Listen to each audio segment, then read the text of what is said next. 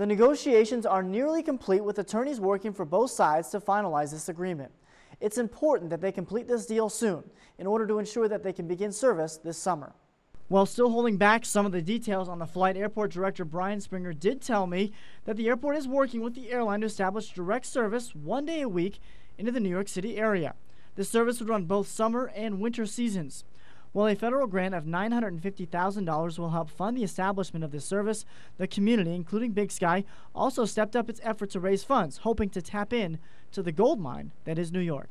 New York and the area um, of New York City has been one of our top destination markets in the last 15 years.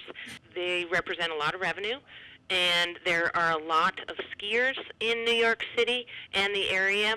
So it's a, a very viable market for the ski product. And then, of course, in summer, the Conference Center and Yellowstone Park are another big draw for that market. Airport Director Brian Sprenger also mentioned to me that the airport is hoping that this total of $1.4 million will last two years in an effort to develop self-sustaining service from Bozeman to New York. In Bozeman, I'm Adam Bell from Montana's News Station.